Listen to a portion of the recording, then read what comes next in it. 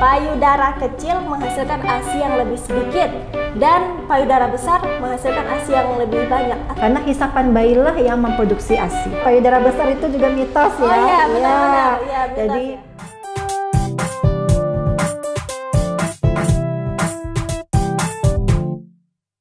Assalamualaikum warahmatullahi wabarakatuh. Halo Tribunars, senang sekali saya Nika Aprilia kembali menjumpai Anda dalam program Tamu Kita Tribunpadan.com Jika di episode sebelumnya kita sudah bahas mengenai eh, segar menyusui saat bulan puasa. Nah pada episode kali ini kita akan membahas masih tentang menyusui tapi topiknya lebih eh, ke mana ya ini ke mitos dan fakta mengenai ibu menyusui dan tentunya pada kesempatan kali ini saya tidak sendiri bersama kita telah hadir Ibu Elisa Daniati Edison Wakil Ketua Daerah AIMI Sumatera Barat Halo Ibu Halo.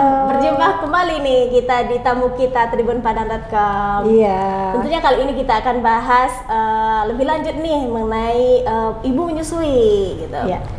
Gimana Bu hari ini kabarnya? Alhamdulillah tetap semangat. Semangat. Nah, Harus. Kita harus tetap semangat ya Tetap selalu. semangat. Ya. Kayak gimana Bu? Udah siap nih untuk pembahasan selanjutnya? Siap dong.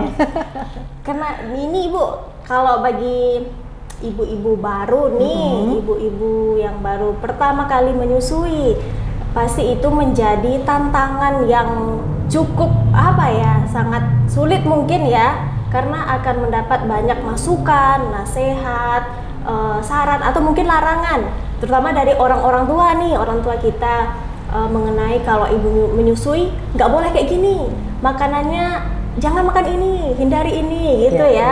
Jadi kadang apa yang kita tidak menyalahkan juga, cuman eh, kadang apa yang disampaikan orang-orang tua kita itu belum ada pembuktiannya, sehingga gimana ya jadi pertanyaan juga ini benar nggak ya? Kadang yang dilarang itu adalah apa yang disukai gitu Betul, ya, betul, tentu betul. akan berpengaruh tentunya sama kondisi eh, mental mungkin ibunya. Jadi kita akan bahas nih mengenai mitos dan fakta seputar ibu menyusui.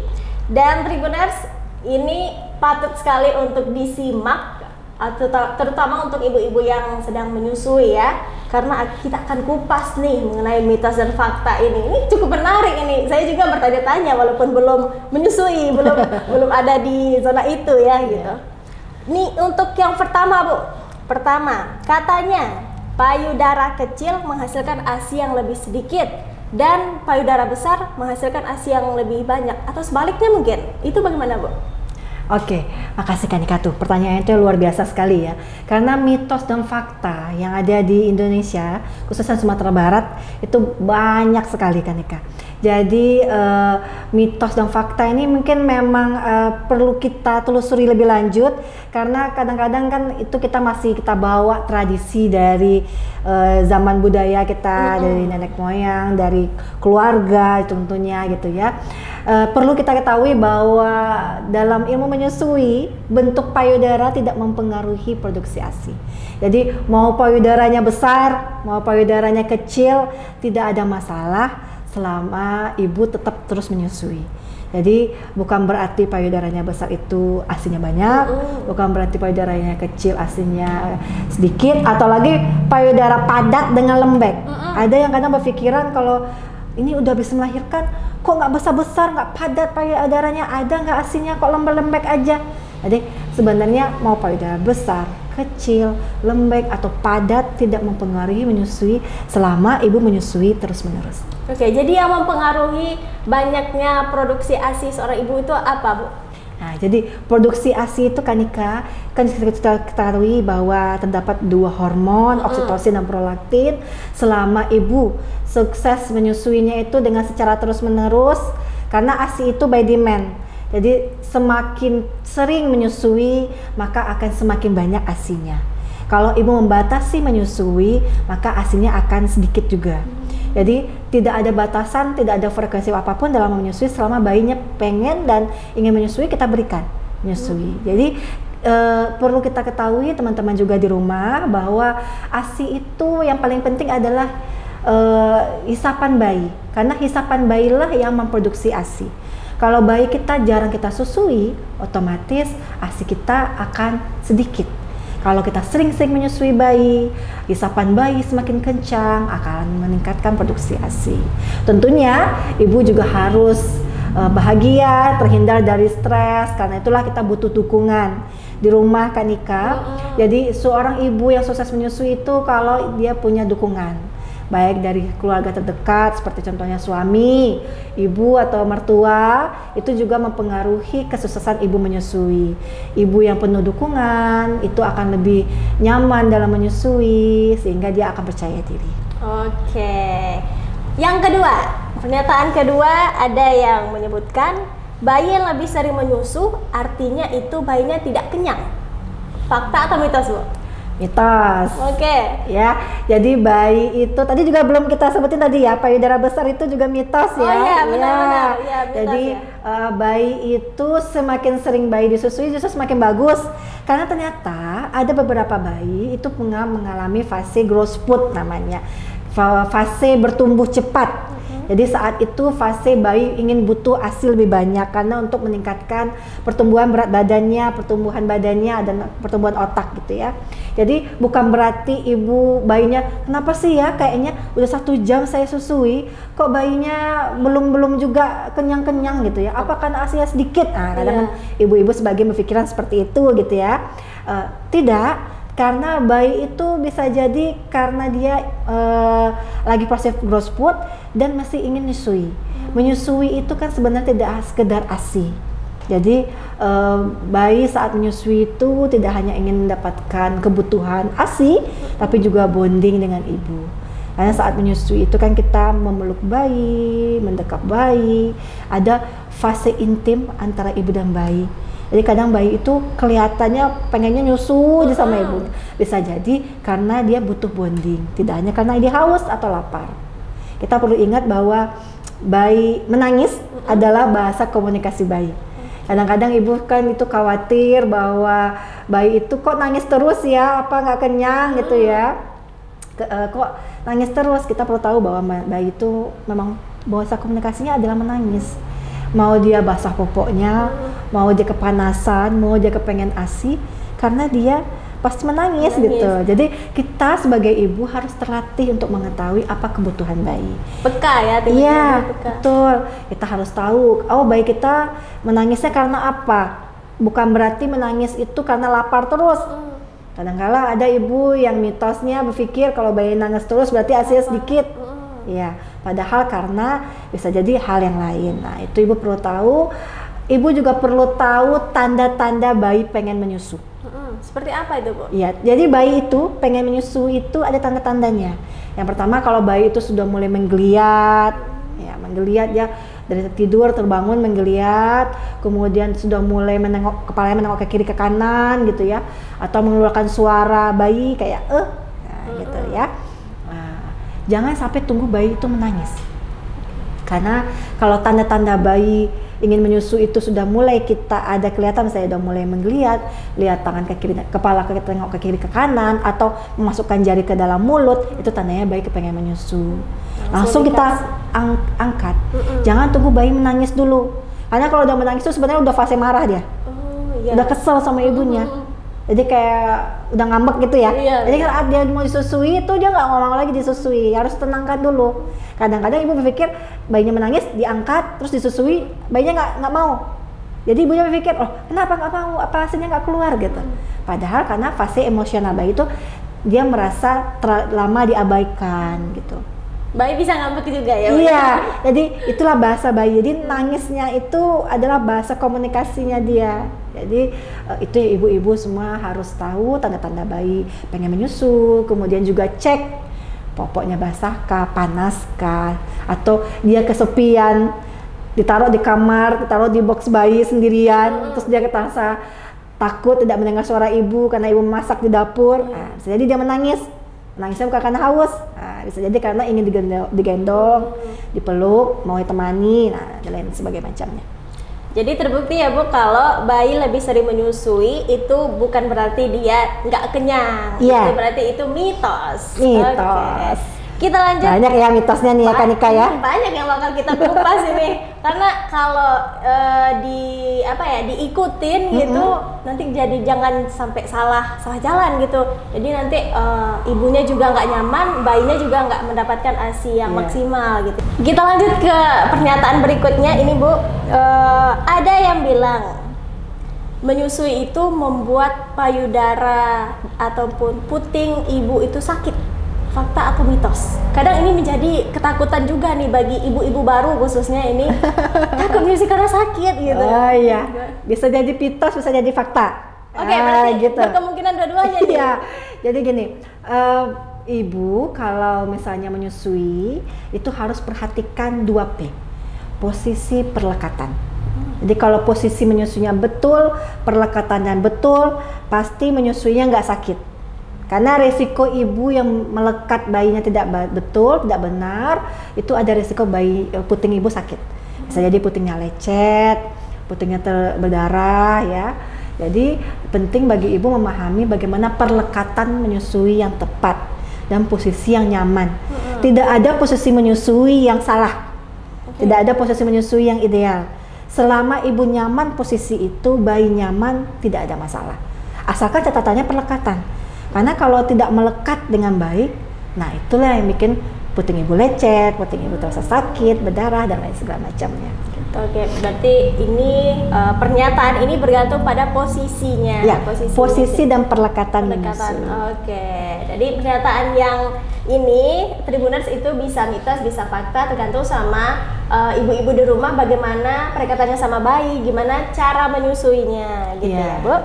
Kita lanjut ke pernyataan selanjutnya. Ini ada yang bilang semakin lama menyusui, semakin sulit bayi itu diberikan makanan. Itu bagaimana, Bu? Sebenarnya ini juga mitos. Mitos, oke. Jadi bayi itu mulai dari 0 sampai 6 bulan hanya diberikan ASI saja. Ya, tanpa cairan prenaktal apa pun, tanpa cairan tambahan apa pun. Tidak boleh diberikan uh, air teh, air tajin zaman dulu ya. Uh, kemudian susu formula atau pisang dan lain segala macamnya. Jadi ASI eksklusif itu adalah diberikan ASI saja dari usia 0 sampai 6 bulan. Kemudian setelah 6 bulan kita berikan makanan pendamping ASI atau MPASI namanya. MPASI itu kita bikin panduannya sesuai dengan metode hierarki makanan. Makanannya sesuai dengan gizi seimbang atau bahasa lainnya makanan 4 bintang gitu ya. Jadi sesuai karbohidratnya, protein hewa, hewani, nabati, mineral, sayuran dan buahan. Jadi bayi itu setelah enam bulan dia harus diberikan kita makanan itu dan makanan itu pun, pun bertahap. Porsi makanannya juga bertahap. Jadi kita penting untuk memperhatikan berapa intensitas makan bayi. Jadi eh, bukan berarti kita nyusui bayi terus akan bikin bayi itu nggak mau makan. Itu mitos, Mitos. ya. Karena bayi itu saat selesai dia udah mulai makan usia 6 bulan, 6 bulan atau 180 hari ya. Karena kadang-kadang bagi ibu-ibu lahir bayinya di di bulan ke-30 atau 31 kan beda-beda ya. Iya. Selama 6 bulan gitu. Jadi untuk patokan akuratnya adalah 180 hari atau 6 bulan setelah dilahirkan gitu ya. Barulah itulah makanan eh, hari pertama untuk yang ideal untuk diberikan makanan pendamping ASI. Nah, saat selesai diberikan makanan pendamping ASI, kalau bayinya mau tetap dinyusui, tetap diberikan gitu. Komposisi ASI saat usia 0 sampai usia setelah 6 bulan ke atas itu berbeda. Jadi kalau 0 sampai 6 bulan itu banyak untuk eh, pertumbuhan dan eh, perkembangannya dia bisa mengenyangkan dia juga karena ada include makanan eh, lemak di dalamnya. Nah, kalau sudah le- lewat dari enam bulan, itu kan bayi itu udah mulai masa eksplorasi ya. Masa milestone-nya itu sudah mulai merangkak, sudah mulai duduk, mulai memasukkan apa saja ke dalam mulutnya gitu ya. Sehingga komposisi ASI juga berubah tuh Kak Nika. Makin tinggi, lemak makin berkurang, yang tinggi adalah vitamin C. Mengapa? Karena vitamin C ini adalah untuk antibodi bayi karena udah mulai area eksplorasi, udah mulai oral ya, fase oral, semua dicoba, semua dimasukin Aktif ya, tangan ya. ya. Jadi ditingkatkanlah vitamin C untuk meningkatkan kekebalan tubuhnya. Nah, lemaknya kan makin lama berkurang tuh di usia 16 ke atas. Itulah kita berikan berikan makanan pendamping ASI yang se- sehat dan cukup gizi seimbang. Jadi bukan berarti bayi tetap disusui menghambat makan ya, gitu. menghambat MPASI ya tapi justru bisa jadi pendampingan bayi makan pendamping ASI dan tetap diteruskan menyusui sampai 2 tahun atau lebih Tapi emang baiknya itu dengan ASI aja itu sampai usia enam bulan gitu ya Bu ya? Dengan Iya, ASI eksklusif ASI, 0 iya. sampai 6 bulan tanpa cairan apa pun. Kemudian kita berikan MPASI, makanan pendamping rumahan ya, yang dibuat sendiri oleh ibu. Gampang kok sebagai MPASI, MPASI rumahan. Bahkan even ibu nggak pandai masak sekalipun bisa, karena dia cuma cemplung-cemplung aja. Mungkin boleh dikasih tipsnya nih Bu, Iya. kalau ASI itu apa aja Iya, gitu, jadi kan kita menyarankan kita di AMI itu makanan pendamping asinya, makanan yang gizi seimbang dan dibuat oleh ibu. Mengapa dengan dibuat oleh ibu? Karena ibu tahu kebersihannya, ibu bisa menjaga kebersihannya dengan baik. Jadi kalau ibu memasak sendiri, ibu bisa menakar berapa kebutuhan bayi ibu, berapa porsinya. Dan eh, teksturnya juga harus diperhatikan. Bayi usia baru mulai dikenalkan makanan usia 6 bulan sampai usia satu tahun ya, itu berbeda tekstur makanannya dari lunak sampai udah mulai dicaca, makanan seperti nasi tim sampai sudah makanan keluarga seperti kita. Dan sangat disarankan makanan bayi makanan bayi itu sama seperti keluarga di rumah. Makanan keluarga. Jadi tidak di, tidak dibedakan gitu ya. Asalkan tidak diberikan gula atau garam sebelum usia satu tahun. Mengapa kita tidak beli sarankan menggunakan garam? Karena eh, biar bayi itu merasakan sendiri makanan asi makanan. Jadi lidah bayi itu bukan seperti lidah dewasa yang kalau kurang garam itu rasanya nggak enak, berat tuh dia. hambar ya. Ah. Karena kita udah macem-macem nih ada di mulut kita rasanya gitu. Nah kalau bayi itu masih asli lidahnya. Yang dia kenal 0 sampai 6 bulan itu masih asi. Ya, rasa manis campur asin gitu ya. Nah, kemudian setelah mengena setelah mulai makan biar dia mengenal rasa kayak gini loh rasa wortel, kayak gini loh rasa brokoli, Iya, nah benar. gitu. Rasa tomat seperti ini, rasa kentang seperti ini gitu ya. Jadi biarkan dia makan makanan yang aslinya tanpa diberikan garam atau gula. Walaupun kita kita coba deh, saya juga pernah dulu waktu anak kecil iseng nyobain rasanya kayaknya hambar deh nggak ada rasa apa-apa. Tapi bagi bayi enak-enak aja kok karena dia makanannya masih asli lidahnya. Iya, benar. Nah gitu, jadi no gula, no garam sampai satu tahun dan teksturnya harus diperhatikan. Eh, jangan keenceran. Karena semakin encer MPASI berarti semakin berkurang gizinya. Gitu. Karena kalau kita encer sering kali ibu-ibu makanan pendamping ASI iya betul dimasak gitu ya. Setelah dimasak di blender. Nah kalau di blender itu kan nggak mungkin langsung nasi. Itu langsung di blender gitu kan nggak mungkin ya nggak bisa gitu. Dia berputar. Akhirnya ditambahlah air sedikit. Air panas gitu bisa sedikit. Akhirnya kan tentu makin encer jadinya nah itu akan mengurangkan nilai gizinya. Akan jauh lebih baik ibu saat memberikan MPASI itu dia eh, pakai penyaring disaring saja. Jadi kan disaring itu kan nanti ada tekstur-teksturnya tuh. Nah itulah dimakan oleh bayi.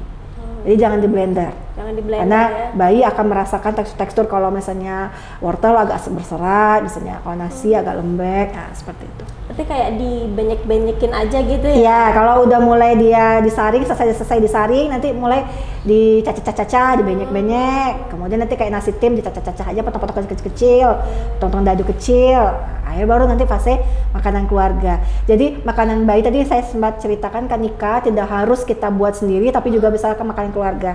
Misalkan ibu hari ini bikin gulai ayam, Sebelum ibu kasih garam, diangkat dulu aya- ayamnya satu atau dua buah, kemudian nanti diberikan untuk bayi. Caca-caca untuk bayi, baru nanti kasih garam untuk kita. Nah, oke. gitu. Jadi ibu nggak nggak repot. Kadang-kadang ada yang berpikir bahwa bikin makanan empasi homemade itu repot. Mm-mm. Terus saya nggak bisa masak, nanti bingung cara nakarnya. Ibu pasti bisa, asalkan eh, disesuaikan saja dengan makan keluarga. Makan hari ini misalnya perkedel, ya kita kasih perkedel.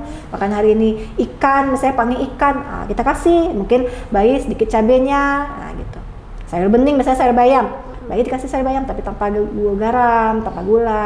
Kita yang udah ada garam gula dipisah dulu, baru kita ngasih terakhir garam gulanya.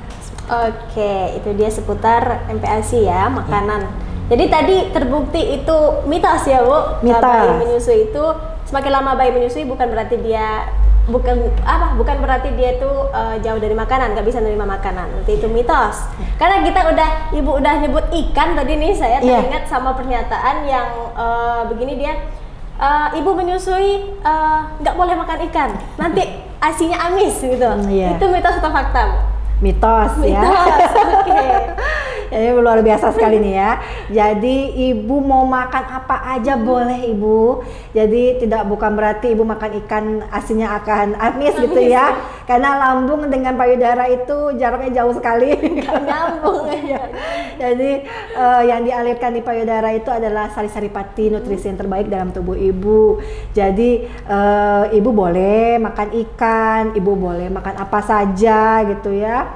Makan makanan mungkin yang berbau menyengat gitu ya, tapi sebenarnya ibu suka gitu ya kayak jengkol, pete atau segala macamnya itu ya. Tetap boleh, asalkan tidak berlebihan. Karena kalau berlebihan tentu pasti ada efeknya. Ke kita aja pasti ada efeknya, apalagi ke anak. Sama, berarti sama halnya dengan makanan pedas ya bu? Itu Iya, nggak apa-apa juga iya. bagi seorang Iya, ibu? boleh, asalkan nggak berlebihan. Karena kalau kalau kita berlebihan, kita sendiri juga pasti ada efeknya bagi kita ya, apalagi bagi anak gitu. Oke, selanjutnya Bu, pernyataannya seperti ini. Jangan membangunkan bayi yang sedang tidur untuk menyusu. Mitos atau fakta? Mitos sebenarnya ya, Mitos, karena. Tapi sebenarnya gini, kalau kita ASI, kita bisa tunggu bayinya. Kan karena kita tahu bahwa dalam ASI itu menyusui itu sekehendak bayi, semau bayi. Kapan pun bayi mau kita berikan gitu ya. Kalau bayinya saat itu lagi nggak mau menyusu, kita tidak apa-apa, kita tunggu bayinya pengen menyusu. Tapi kita harus ada tenggang juga. Kadang ada beberapa kasus bayi itu dia senang tidur, bayinya tidur. Apalagi beberapa bayi yang eh, ada masalah, misalnya kayak bayi kuning gitu ya, Jordans. Jadi dia memang butuh lebih intens menyusui, tapi kecenderungannya dia tidur karena dia sakit, sedang sakit. Sehingga kita perlu bangunkan bayi untuk menyusu. Bangunkannya nggak perlu dibangunkan dengan cara apa gitu ya, dengan cara keras atau gimana. Cukup kita misalnya dia pakai bedong, kita buka bedongnya atau kita buka bajunya, biasanya dia udah mulai menggeliat tuh. Nah, baru kita coba angkat dan kita tawarkan apakah dia mau menyusu gitu. Kita pancing istilahnya. Tapi kalau misalnya kita sudah pancing, dia bayinya tidak mau menyusu, tidak ada masalah. Tapi ibu perlu tahu bahwa eh, dan perlu monitor kebutuhan eh, kecukupan bayi ASI. Ibu perlu peli- eh, lihat kecukupan ASI. Karena bayi yang cukup ASINya, jadi ini kunci ibu ya. Ibu harus ingat bahwa bayi yang cukup ASINya itu kalau buang air kecilnya selama 24 jam besar dari enam kali. Ya, ya. Dan BAB-nya 1 sampai 2 kali dalam sehari selama 24 jam. Jadi kalau bayi ibu sudah lebih eh, dari enam kali BA BAK-nya otomatis ASI ibu ada. Itu cara kunci ibu meyakinkan diri bahwa ASI ibu cukup untuk bayi ibu. Karena pertanyaannya sering bertanya bahwa ASI ibu cukup nggak ya? Ibu cukup dari itu aja kan Nika. Lihat apakah popoknya basahnya udah lebih dari enam kali. Makanya kita sarankan saat ibu baru lahir, eh, bayi lahir itu perlu jangan dipakai popok kain saja, jangan pakai pampers dulu. Mengapa? Karena kita bisa membantu ibu meyakinkan dirinya untuk menghitung kecukupan ASI. Kalau bayi ibu popok basahnya udah sampai satu lusin, dua lusin selama 24 jam sampai udah habis popoknya, berarti ASI ibu ada. Karena logikanya gini, kita pakai logika kalau a- ibu tidak ada ASI, tidak ada yang dimakan oleh anak, tidak ada yang diminum oleh anak, nggak mungkin dia bisa pipis atau Iya, BAK. benar. Nah, karena gini, ada yang berpikir seandainya ya, seandainya payudara itu transparan, kita bisa tahu berapa yang diteguk oleh anak. Tapi karena payudara kita tidak transparan, tidak bisa kita tahu. Cara tahunya adalah dengan kecukupan ASI tadi. Kalau BAK-nya sudah lebih dari enam kali, pasti ASI ibu cukup untuk bayi ibu. ASI ibu ada untuk bayi ibu gitu. Kemudian setiap bulan ibu harus rutin mengontrol eh, kenaikan berat badan minimal 500 gram per bulan. Kalau udah naik di atas 500 gram, 800, 1 kilo gitu ya. Bulan depannya kan sekali imunisasi ditimbang itu kan. Jadi kenaikan 1,5 misalnya atau 1 kilo itu udah lebih sekali karena minimal 500 gitu sebulan. Dan ibu harus punya eh, ini juga masukan juga sekarang sudah ada Kia eh, kartu ibu dan anak ya kartu yang dipegang saat imunisasi itu khusus untuk bayi ASI dengan bayi susu formula itu berbeda. Jadi kalau bayi ASI itu eh, ke- eh, plot grafiknya itu berbeda dengan bayi susu formula kalau bayi ASI minimal 500 gram itu sudah cukup baik kadang kalau bayi susu formula kadang-kadang 800 minimal 800 baru bisa dikatakan baik gitu anaknya gitu jadi selama itu cukup asinya bayi kecukupan asinya cukup, kayak tanda-tanda eh, cukup asi tadi, BAK, BAB, kemudian bayi terlihat puas saat menyusu. Terlihat puas ini bayi itu melepas sendiri payudara. Dan biasanya sering kali bayi itu kejadiannya selesai menyusu dia langsung tertidur. Tidur. Nggak perlu ibu gendong, ibu ayun-ayun, capek-capek tidurin, dia langsung tidur sendiri. Itu berarti bayi sudah puas menyusu. Cukup ASI BAK, bayi bayi terlihat puas, kemudian kenaikan berat badan. Nah, berarti itu ASI ibu tidak ada masalah. Ibu tidak perlu khawatir dan harus percaya diri. Yakin Oke. bahwa ASInya cukup gitu ya. Benar. Berarti pernyataannya jangan membangunkan bayi untuk menyusui itu mitos. Ya, Pok- ya pokoknya ibu ini harus eh, memperhatikan apakah bayinya itu sudah apa ya kebutuhan asinya sudah tercukupi atau belum dengan melihat eh, BAK-nya Iya, tadi. angka Kan? kecukupan Angka. ASI. Oke, kita lanjut Bu. Ada yang menyebutkan seperti ini. Ini sesuatu yang eh, mungkin dikhawatirkan sebagian besar ibu-ibu di luar sana, apalagi ibu-ibu yang baru pertama ini anak pertama. Kalau menyusui itu akan mengubah bentuk payudara. Bagaimana Bu? Iya, kalau misalnya kita udah melahirkan, pasti berubahlah payudaranya. Tapi bukan karena menyusui, tapi karena sejak fase kehamilan. Kami sering bercanda bilang begini, ibu-ibu saat kita punya kodrat sebagai wanita, kita pasti bisa hamil dan melahirkan. Tapi payudara itu berubahnya bukan karena menyusui, tapi karena setelah melahirkan. Setelah melahir, eh, setelah hamil gitu ya. Saat hamil kita makin bertumbuh makin besar kandungan kita, payudara kita juga makin bertumbuh. Mengapa bertumbuh? Karena juga dia mengeluar, eh, meng- apa, mengeluarkan sel-selnya bertumbuh untuk siap saat menyusui, siap untuk menyusui bayi. Jadi payudara itu akan berubah saat hamil, bukan karena setelah melahirkan, bukan karena menyusui. Jadi kalau nggak mau payudaranya berubah ya bukan karena menyusui ya, Iya. tapi karena hamil sekalian. ya gitu. Jadi itu memang udah fasenya perempuan. Jadi setelah hamil dia akan ada perubahan payudara, bukan karena menyusui. Kan karena menyusui. Tapi nanti eh, perubahan payudara itu Bu, apakah setelah menyusui itu akan kembali ke bentuk awal atau enggak dia? Eh, sebagian sebagian besar akan kembali ke bentuk awal. Akan kembali. Berarti tidak perlu dikhawatirkan karena Tidak itu perlu sudah kodratnya wanita. Betul. begitu. Kita lanjut Bu. Ada juga yang mengatakan seperti ini, mengistirahatkan payudara dapat menghasilkan ASI yang lebih banyak. Mitos atau fakta? Mengistirahatkan seperti apa nih dulu nih? Misalkan eh, sekarang satu jam ini sudah menyusui sebanyak eh, tiga kali, misalnya eh, nanti lagi deh gitu, tunggu dua jam atau berapa jam selanjutnya gitu. Oke, ASI itu tidak seperti galon ya, yang kalau habis tunggu diisi ulang dulu baru ada. Iya. Ya, Mm-mm. kita harus ingat bahwa ASI itu eh, yang dirangsang adalah hisapan bayi. Bahkan kalau kita udah ngerasa ASI-nya nggak ada gitu, udah kempes gitu payudaranya gitu ya, karena kita merasa seperti itu, ASI kita tetap ada selama dihisap oleh bayi. Jadi ASI itu saat kita disusui oleh bayi itu eh, akan keluar namanya LDR, let down reflex. Jadi itu rangsangan dari bayi sehingga nanti akan keluar. Jadi hisapan bayi itu mengirimkan sinyal ke otak sehingga otak nanti akan memberikan sinyal ke tubuh kita untuk memproduksi ASI dengan lebih baik lagi dan mengalirkannya dari tubuh ke payudara, ke saluran ASI namanya ya. Jadi eh, bukan berarti setelah selesai menyusu kita misalnya udah nyusu satu satu jam yang lalu, kemudian kita bilang ah ntar tunggu lagi, tunggu diisi lagi gitu ya, enggak. Jadi tetap kita susui bayi dan ASI itu tetap akan ada selama dihisap oleh bayi, karena dia yang merangsang itu adalah bayi. sendiri. Bayi itu sendiri ya. Oke, sudah terjawab ya. Tribuners itu adalah mitos. Jadi tidak perlu khawatir kalau eh, bayinya itu menyusu terus gitu, eh, mau dalam jangka waktu berapa lama gitu. Tidak perlu khawatir asinya itu akan habis. Ya. Selanjutnya Bu, ini mitos atau fakta menyusui dapat mencegah kehamilan? Mito, eh, fakta, sorry. Fakta, oke, fakta. Jadi gini, ibu kalau misalnya menyusui secara langsung nikah, eh, dia bisa jadi KB alami untuk ibu.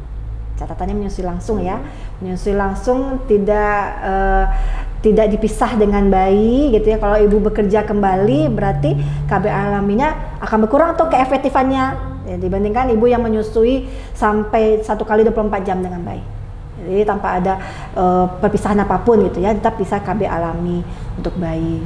Jadi uh, memang ada metodenya namanya amoreletaksi. Amoreletaksi itu adalah KB alami kalau ibu menyusui secara langsung. Tapi kalau ibu sudah uh, bekerja kembali dalam satu kali 24 jam tuh ada satu kali 6 jam atau satu kali 12 jam ibu uh, terpisah dengan bayi, berarti mungkin ibu perlu KB yang lain untuk bisa menunda jarak kehamilan. Oke, berarti uh, dengan menyusui itu uh, bisa menjadi KB alami tanpa dengan bantuan alat KB ya Bu? Gitu. Iya. Terbukti itu adalah fakta berarti. Fakta. fakta. Kita lanjut. Uh, jika seorang ibu yang tengah menyusui sakit, apakah dia masih boleh tetap uh, menyusui bayinya atau tidak? Karena kemungkinan kalau misalnya sakitnya itu cukup parah gitu, uh, pasti ibunya ini akan minum obat, mengkonsumsi obat. Apakah itu nanti akan berpengaruh? Mitos atau fakta, Ibu? Mitos. Mitos. Ya. Okay. Ibu kalau sakit tetap bisa menyusui bayi ibu. Ya, ibu-ibu semua. Seringkali kita ya ingat ya bahwa uh, bayi ibu itu sebenarnya uh, ASI itu bisa mengalirkan secara baik nutrisinya. Jadi kalau ibu sakit justru makin baik ibu nyusui bayi. Mengapa demikian? Karena kalau ibu sakit itu tubuh ibu akan memproduksi antibodi dengan meningkat. Jadi ada peningkatan antibodi ibu kalau ibu sakit. Kemudian antibodi itu teralirkan ke bayi. Jadi begitupun dengan bayi yang sakit. Jadi kalau ada yang bertanya kalau bayinya sakit apakah dihentikan menyusui atau kasih ASI perah, justru makin baik kalau bayi sakit atau ibu sakit tetap dijaga intensitas menyusuinya. Karena ada peningkatan antibodi baik yang bayi sakit atau ibu yang sakit. Semakin bagus antibodinya. Jadi terminum antibodinya semakin bagus. Semakin banyak antibodi yang terminum oleh bayi. Jadi makin bagus ya. Tapi kalau ibu ada penyakit yang gejala parah tertentu yang menyebabkan uh, ada kandungan uh, obat ya, kandungan obatnya itu yang bisa mempengaruh berpengaruh negatif terhadap bayi, uh, bisa jadi kita uh, kurangi menyusuinya kita perah atau kita ibu yang sudah ada uh, simpanan ASI perah kita berikan dulu ASI perahnya tapi ASI ibu untuk menjaga intensitasnya karena kan ASI itu harus dikeluarkan ya.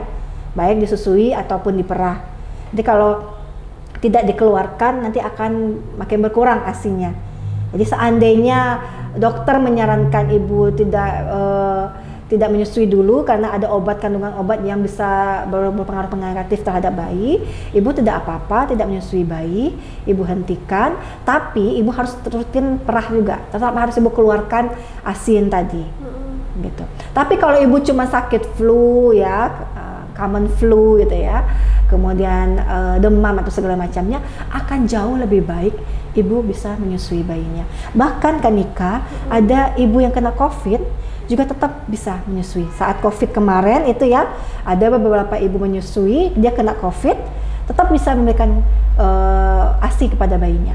Tidak oh. harus kita hentikan menyusui. Enggak terpengaruh anak ini. Cukup an, cukup ibu penuhi protap dalam kesehatan aja. Pakai masker, misalnya kalau ibu flu juga atau COVID kemarin, pakai masker, cuci tangan. Nah, kalau lebih yakin pakai sarung tangan gitu ya, kemudian digendong bayinya karena justru saat COVID itu kan tubuhnya mengeluarkan uh, antibody-antibody ya, peningkatan antibody, kemudian itu yang dialirkan ke ASI. Jadi anaknya antibody antibody COVID itu dapat sama dia saat ibunya kena COVID gitu. Oke, terjawab sudah kalau uh, mitos, mitos ya tadi ya, mitos ya. ya.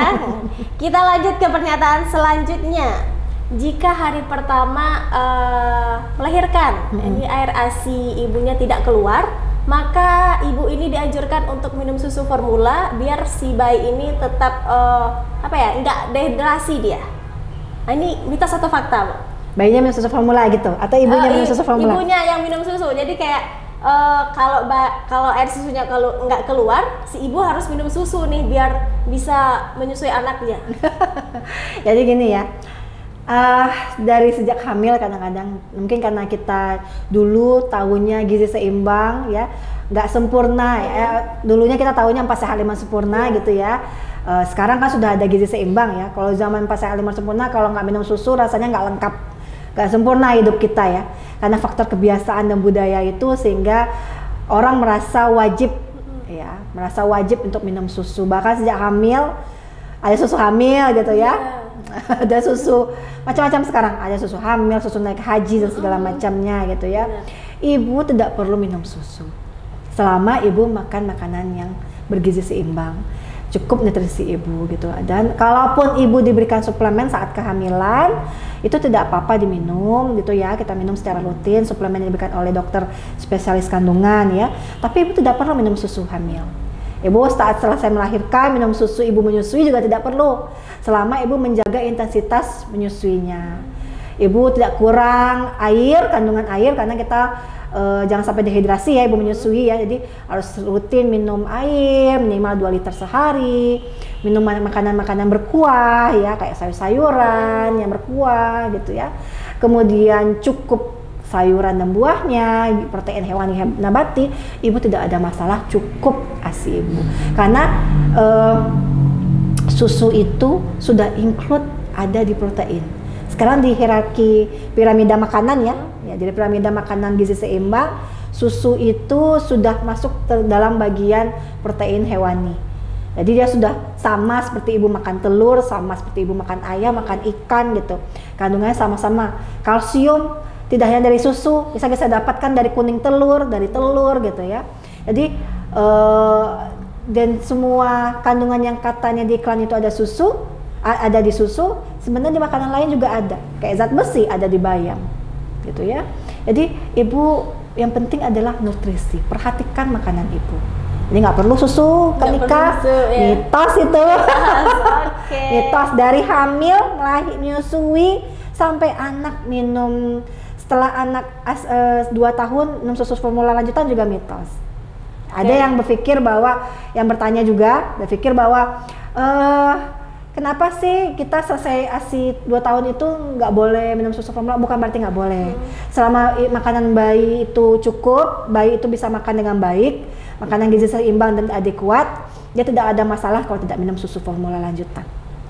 Karena semua kebutuhannya sudah cukup terpenuhi dari makanan yang dia makan. Oke, terjawab kalau ibu ibu menyusui tidak perlu minum susu Susu. juga. Ya. Oke. Selanjutnya Bu, eh, bayi ada nggak bayi yang alergi dengan susu ibunya?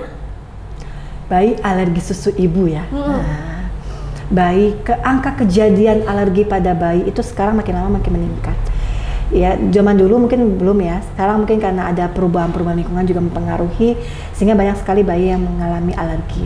Tapi bukan berarti bayi itu alergi dengan susu ibu, bukan. Tapi karena mungkin makanan yang dimakan oleh ibu. Nah, jadi misalkan itu bisa juga sebagai eh, apa sinyal bagi kita saat MPASI nanti apakah bayi kita itu alergi terhadap makanan itu atau tidak. Jadi misalkan ibu makan telur dengan porsi yang banyak misalnya ya, atau ibu makan telur satu aja, kemudian ibu minum eh, nyusui bayi, kemudian terjadi bentol-bentol atau merah-merah pada tubuh bayi atau pada mukanya ya, terlihat ada eksim gitu ya. Nah, itu bisa jadi karena telur tadi yang ibu makan gitu. Nah, kalau bagi sebagian ibu yang beberapa makanan itu bayinya alergi, kita sangat sarankan untuk ibu mengganti makanan itu dengan makanan yang lain. Misalnya ibu eh, alergi udang gitu ya, eh, eh, bayi ternyata alergi udang. Kalau ibu makan udang dengan porsi banyak, setelah nyusui kemudian merah-merah gitu ya, berarti mungkin kemungkinan bayinya alergi makanan yang dimakan oleh ibu. Karena kan makanan yang dimakan oleh ibu kan mengalir ke ASI gitu ya. Iya. Jadi ibu pending dulu makan udangnya. Bisa diganti yang lain atau makan cumi. Kata ibu makan cumi anaknya nggak apa-apa. Berarti kan bisa kita ganti eh, makanan udang tadi kan masih skala seafood juga ya. Nah, dengan makanan yang lain seperti itu. Jadi bukan karena asinya yang alergi, tapi karena mungkin makanan yang ibu makan. Oke. Nah, nanti saat MPASI juga ibu penting sekali untuk memperhatikan itu. Ya, karena saat MPASI nanti bayi juga kita harus lihat apakah bayi itu alergi atau tidak pada makanan tersebut. Ada beberapa kasus bayi itu alergi pada makanan tertentu, contoh kayak telur.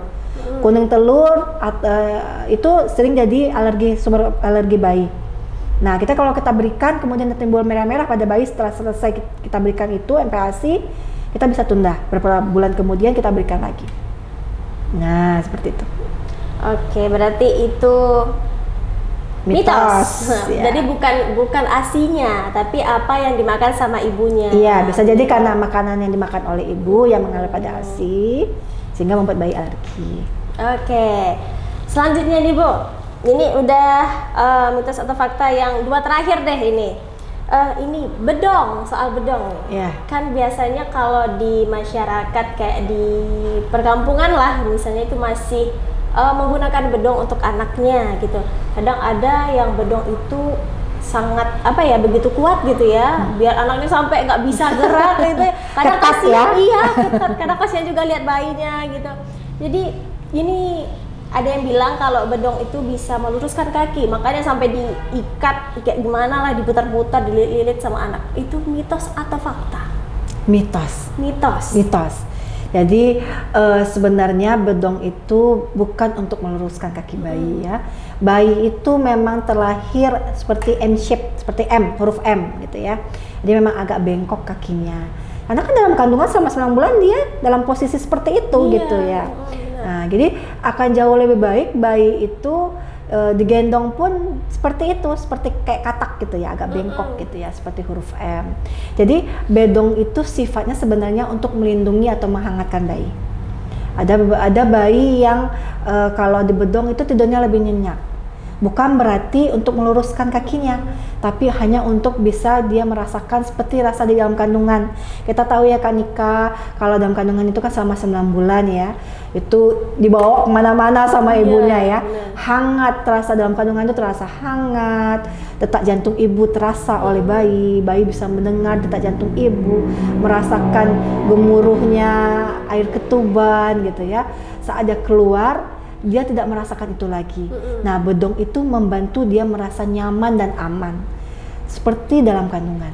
Jadi untuk menghangatkan dia saja, menenangkan dia saja, bukan untuk meluruskan kaki bayi. jadi sebaiknya penggunaan bedong ini ah, apa ya nggak jangan dipakai terlalu ketat begitu ya Betul, betul. Jangan dipakai terlalu ketat. Jadi eh, secukupnya saja kita bedong gitu. Nah, jadi eh, kalau ketat-ketat, jadinya bayinya susah bergerak. Kasihan juga bayinya nggak nyaman gitu ya. Eh, Kadang-kadang kalau bayinya terlalu ketat juga dia nggak leluasa menyusu. Akhirnya dia nggak rasa nggak nyaman saat menyusui. Kalau kalau nggak nyaman menyusui, pasti dia saat menyusui akan gelisah. Kalau sering kali ibu kalau bayinya gelisah saat menyusui dia berpikirnya dia yang salah. iya benar Nah, itu bisa jadi karena faktor-faktor tadi, bayi bedongnya terlalu ketat gitu ya, sehingga bayi nggak nyaman saat menyusui atau dia justru malah saat dipakai bedong merasa kepanasan gitu. Oke, terakhir nih Bu. Ya. Eh, mungkin ini eh, lebih ke tips ya kali Ya. ya. Eh, ASI booster nih. Kadang bagi ibu-ibu ini eh, masalahnya itu apa-apa itu kalau bayinya nggak mau nyusu, bayinya nangis, nggak terima segala macam lah itu yang disalahkan dirinya gitu. Saya belum bisa jadi ibu yang baik nih, nggak bisa ngasih ASI sama anaknya, nggak keluar ASINya. Itu cara meningkatkan produksi ASI itu mungkin apa sih yang bisa meningkatkan ASI itu eh, mungkin dari lingkungan atau eh, orang-orang terdekat ya gitu. Bagaimana caranya ini untuk ASI booster ini Bu? Ya, ASI booster alami itu adalah apa yang ibu sukai. Itu pentingnya. Jadi kuncinya adalah kalau ibu menyusui bayi secara terus-menerus, semau bayi, sekehendak bayi, kita tahu tadi ya, isapan bayi akan produksi akan produksi ASI dengan maksimal. Jadi mau ibu makan apa pun, uh, boosternya nggak ada masalah selama ibu suka. Kalau ibu senang, happy, malah itu akan memperlancar produksi ASI karena salah satu hormon yang produksi ASI adalah hormon oksitosin, hormon cinta namanya, hormon yang mempengaruhi psikologis atau mental ibu. Kalau ibu happy, nah itu pasti akan hormon oksitosin itu akan meningkat tuh, meningkat tajam gitu. Nah, kalau ibu eh, kita nggak bisa apa ya, kita, kalau ibu beberapa masyarakat kadang-kadang percaya suatu makanan akan meningkatkan produksi ASI. Iya. Kalau ibu senang makanan itu, tidak ada masalah ibu makan. Tapi kalau ibu tidak senang, eh, merasa merasa tidak nyaman makan makanan tersebut, tidak perlu ibu makan. Jadi makan aja apa yang ibu sukai, asalkan nggak berlebihan tadi. Bahkan kadang sesimpel ibu diberikan waktu me time, itu sudah meningkatkan ASI juga, meningkatkan hormon oksitosin. Misalnya nih, kalau kita udah punya bayi tuh, kan Nika, bisa mandi dengan tenang aja itu udah suatu hal yang berharga. Oke. Kalau misalnya ayah bantu nih, ayah mendukung ibu dengan menggendong sebentar selesai bayi dimandikan, kemudian kita gendong, kemudian ibu dibiarkan mandi dengan leluasa dengan tenang, itu jauh udah meningkatkan hormon oksitosin, booster am- booster ASI alami gitu. Atau bahkan kayak transferan suami itu udah masuk tuh coba cek katanya kan. Terus dia happy. Wah Happy, iya happy gitu ya. Itu juga udah ASI booster gitu. Jadi eh, yang beredar di masyarakat tentang ASI booster ini ASI booster itu itu selama ibu senang tidak ada tidak apa-apa dilakukan tidak apa-apa dicoba gitu ya. Tapi yang penting adalah ibu suka. Karena apa pun yang ibu suka itulah booster alami. Oke. Jangan sampai si ibu ini tertekan ya. Kadang eh, misalnya mertua nih kalau asinya nggak keluar minum ini deh makan Iya. ini. Sementara kadang rasanya dari eh, kadang dari apa ya bahan-bahan tradisional ya ya bu itu kurang enak gitu kurang. Hmm. kayak enak aja makannya gitu atau pahit jadi nggak suka jadi ya stres lagi. gitu. Iya betul. Tertekan, Tertekan, ya. Itu makanya ma- makanlah makanan yang disukai oleh ibu gitu. Atau tindakan-tindakan simpel dari suami yang menyenangkan hati ibu. Transferan ya. Iya, dukungan transferan tadi ya. Dukungan dari uh, keluarga lingkungan terdekat, ya, keluarga terdekat. Seperti misalnya ibu tidak kelelahan, kadang-kadang ibu saat menyusui kan juga sudah cukup menyita waktu. Nanti dibantulah eh, apa kebutuhan rumah tangga seperti kayak mencuci dibantulah dengan eh, suami atau dengan orang yang ada di rumah gitu Oke, udah habis nih pernyataan mitos fakta kita. Nggak berasa nih udah sangat lama nih kayaknya dia. Seru ya? Seru, Seru ya, mitos dan fakta ini ya? Terasa. Mungkin masih banyak yang belum kita bahas ini ya, karena keterbatasan waktu juga kita ini Bu. Jadi eh, Tribuners itu dia tadi pembahasan mitos atau fakta dari ibu menyusui. Nah, jadi bagi yang udah tahu nih, ah, ayo diperbarui lagi informasinya mengenai mitos atau fakta mungkin i- seputar ibu menyusui agar nggak keliru nanti mau ngambil yang mana, mau mendengarkan yang mana. Kemudian juga eh, Ibu Elisa terima kasih sudah Ya, hadir terima di kasih. Tribun Padang di sini berbagi ilmu bersama kita di sini.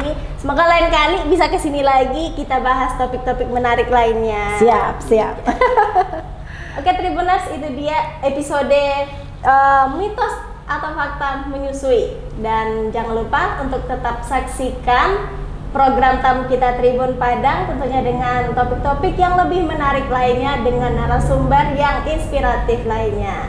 Saya Nika Frilia undur diri. Wassalamualaikum warahmatullahi wabarakatuh. Bye bye.